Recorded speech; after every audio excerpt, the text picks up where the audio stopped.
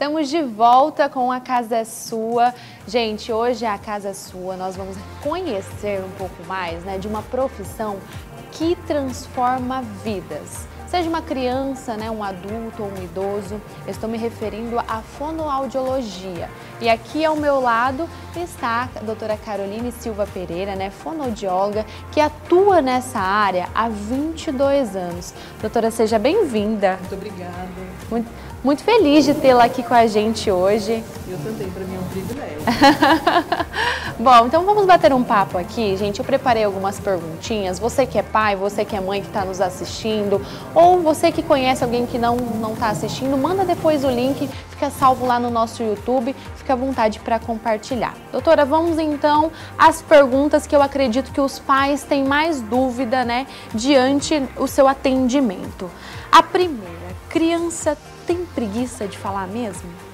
Não, Mari, isso é um grande mito que criaram, tá? O que acontece com a criança é que a criança, ela naturalmente, ela é um ser explorador. A criança explora o mundo para ela conhecer, para ela se desenvolver. Sim. Tá? Quando a criança está mais retraída, quando as pessoas falam que a criança está preguiçosa, é porque tem alguma coisa acontecendo com essa criança que ela não está se desenvolvendo da forma então a gente tem que deixar aí um sinal de alerta para que esses pais procurem um atendimento para saber o que está acontecendo com essa criança. Olha só, gente. E qual que é a idade correta? Existe, né, uma idade correta que a criança deve começar a dar os indícios, né, de fala? Olha, na fonoaudiologia, de forma geral, nós temos os marcos do desenvolvimento. O primeiro grande marco do desenvolvimento da fala de uma criança é na idade de um ano quando ela já deveria estar falando as primeiras palavrinhas. Certo. Então, com um ano de idade, a criança já tem que estar falando, por exemplo, mamãe, papai, ou papá para se referir à comida, certo. falando água, falando essas primeiras palavras, tá? Se a criança ela não está falando essas primeiras palavras, ela precisa de uma avaliação. Já nesse primeiro ano de idade, se ela não estiver falando, já, a gente já orienta que os pais deve, devem procurar um fonoaudiólogo. Porque se a criança tem um problema de saúde, por exemplo, está com febre, está com vômito, está tá com algum problema de forma geral, ela procura o um médico. Mas se ela está desenvolvendo um problema de fala, ela tem que buscar o fonoaudiólogo. Olha, gente, é muito importante isso, né?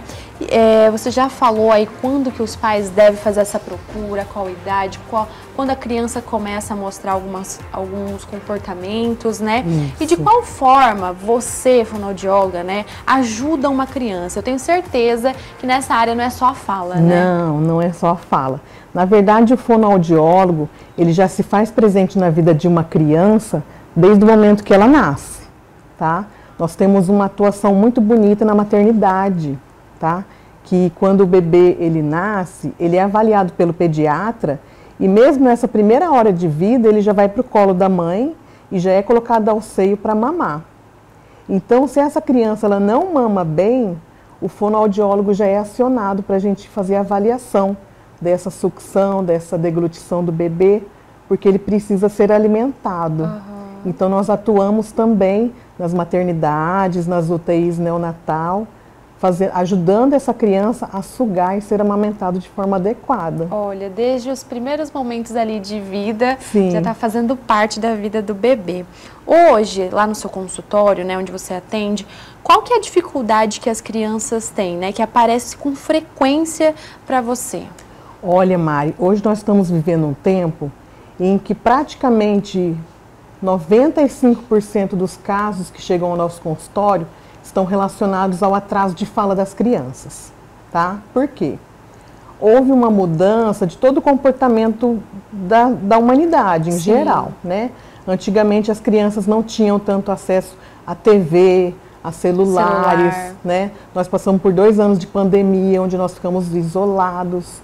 Então essas, essa, esses problemas estão se manifestando agora com a dificuldade das crianças em se comunicar, em começar a falar, em interagir, a se desenvolver de forma plena. Então, assim, 95% dos casos que chegam hoje no consultório de qualquer fonoaudiólogo está relacionado à fala da criança. Olha, gente, me fala uma coisa. Nesses, a gente falei aqui para o pessoal no início, né? 22 anos trabalhando nessa área. Isso. Conta pra gente, para o pessoal também de casa, um paciente que você né, tratou, cuidou, teve um resultado e que te marcou bastante. Então, Mari, todo paciente, ele nos marca de alguma forma. É verdade. Sabe? Todo paciente, a gente sempre lembra da história de um paciente. Mas, é, ultimamente, agora depois do Natal, eu recebi uma mensagem. Eu já estava de férias, né? E eu recebi uma mensagem no meu celular de uma tia, que ela, inclusive, é professora é, de educação infantil e ela estimulou o irmão e a cunhada a levar o sobrinho dela para uma avaliação com fono, porque percebeu que ele não estava desenvolvendo da forma adequada. E ele começou a fazer terapia comigo em junho do ano passado, de 2023. E eu acho que ela, e ela foi na primeira sessão, conversou comigo, e depois disso eu não a vi mais e ela também teve pouco acesso à criança, trabalhando bastante, né? Sim. né? E reencontrou o sobrinho no Natal. E ela ficou assim encantada com o tanto que essa criança desenvolveu em tão pouco tempo. Olha isso. Então assim me deixou muito satisfeita, né, com o resultado da terapia que a gente está fazendo. E assim, é uma tia que também ajuda muito financeiramente no tratamento do sobrinho. Olha, eu, eu achei legal você falar isso, porque muitas vezes é, é, é, difícil falar isso, mas é verdade. O pai não quer aceitar, a mãe não quer aceitar que Sim. a criança tem uma dificuldade. Exatamente. E olha a importância dessa tia. Sim. Podia ser um amigo, podia ser um, é, uma madrinha, uma avó, Sim. né? De conversar. Eu acho que essa deve ser a pior parte, né? De chegar Exato. no pai da criança, na mãe, e falar assim: olha, por que, que você não leva? Vai lá. Exatamente. Né? Eu acho que é isso, é muito importante tudo começa na comunicação, né, Mari? É verdade. Então a gente precisa ter, assim, primeiro, uma oportunidade de falar com essa pessoa e falar com delicadeza, né? Falar, olha, você não acha bom a gente levar o fulano para fazer uma avaliação? Porque as crianças que eu vejo nessa idade, eles já estão falando bastante. Uhum. E o fulano não está.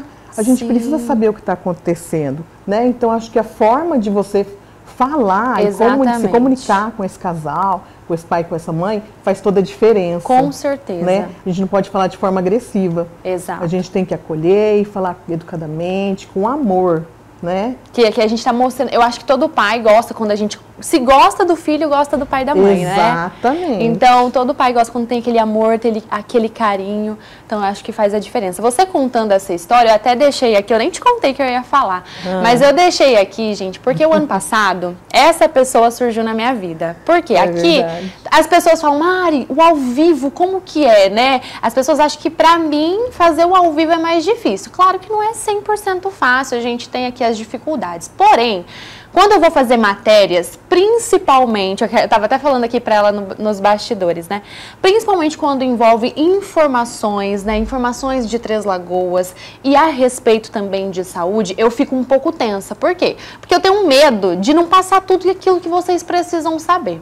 E o ano passado eu até mandei, diretor, eu não sei se dá tempo, se você consegue colocar a foto aqui pra gente eu fui hoje no meu Instagram e pesquisei lá o dia, salvei a foto pra gente mostrar. Ai, Porque, legal. olha, Carol, estava eu fazendo uma matéria sobre saúde, minha mão suava tanto porque eu tinha que passar o local, quem que ia estar, tá, o horário, e eu fiquei muito nervosa. E a Carol pegou um papel, primeiro ela me deu um copo d'água, né, gente, né, é, né, Carol? Porque eu tava muito nervosa. Ela me deu um copo d'água Flor, se acalma. O que você precisa falar? Por isso que eu fiz a pergunta aqui para ela, que não é apenas a linguagem né, da criança, né, Carol? Não é apenas a linguagem. Fonoaudióloga não é apenas a fala. Não. Ela fez eu escrever isso em cinco minutos, tá, gente? Né? Acho mesmo. que foi cinco ou dez minutinhos. Foi. Eu escrevi todas as informações que eu precisava passar para vocês. Meu diretor, eu mandei no nosso WhatsApp, tá? Do TVC, não sei se consegue colocar aqui pra gente. Mas ela escreveu. Nós fizemos um texto, né? né? Organizamos o seu pensamento ali no texto, né? E aí que a gente começou a decorar e repassar as falas e deu certo, e né? E deu super certo. Eu fiquei muito nervosa, cheguei aqui para nossa coordenadora Kelly, que está de férias, mas cheguei, falei do ocorrido e, gente, faz toda a diferença. É, é na linguagem, olha aí a foto, está eu, Isso. Ricardo e Carol, se eu não me engano foi no dia 23 de maio, Isso essa mesmo. foto. E olha ali, eu sorrindo, gente, sorrindo, papelzinho na mão da Carol, que a gente já tinha escrito, é, né, lápis. De papel uhum. na mão, exatamente. E deu super certo. Então, você que de repente, ah, uma fonoaudióloga é só a forma dele falar, a criança fala errado mesmo porque está aprendendo. Não, não, não, é só isso, né, Carol? Não. A gente precisa avaliar é, como que essa criança está se desenvolvendo. Por quê, Mari? Geralmente, os médicos, eles ainda falham muito, os pediatras. Porque a mãe fala assim, ai, doutor, meu filho não está falando. Ah, mas ele está com dois anos, vamos esperar quatro anos.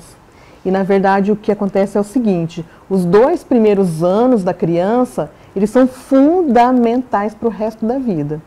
Então a gente precisa agir, agir rápido, Sim. com rapidez mesmo, para ajudar essa criança. Porque esses dois primeiros anos são fundamentais. E olha, gente, os métodos. Esse mesmo meu, papel, né? Exatamente. Lápis, escrever as ideias. Então, são vários métodos. Não é apenas a conversação. Então, eu aqui aproveitando, quero te agradecer mais uma Muito vez. Muito obrigado, para mim foi um prazer. E foi assim, para mim, foi um aprendizado gigantesco. Carol, antes da gente encerrar, uhum. eu queria saber onde que você atende hoje. Hoje eu atendo no consultório, tá? O meu consultório fica ali no Instituto Comportamentale, fica na rua Munir Tomé, 1963, no bairro Colinos. Certo. Mas as pessoas também me encontram atendendo home care. Eu tenho bastante paciente home care. Eu atendo crianças que têm dificuldade de engolir, sabe? Então, crianças que usam sonda, gastrostomia.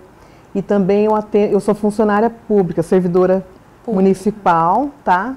É, e as pessoas geralmente também me encontram ali na clínica da criança. Que bacana. Pela prefeitura de Três Lagoas. Que legal, gente. Então tá aí os contatos, você pai, você mãe, procurem a Carol então. Fica, ó, ela é exatamente isso aqui, esse poço de calmaria. e eu tenho certeza que a criança vai dar, se dar super bem, né? Às vezes a gente fala, ah, mas a minha criança é meio tímido. E, e lá ela tem vários métodos, vários brinquedos para poder desenvolver. Para poder avaliar essa criança. Carol, muito obrigada. Eu agradeço a oportunidade, para mim vai ser sempre um prazer vir aqui. Vou, sempre que você quiser, as portas estão abertas. Muito obrigada. E agora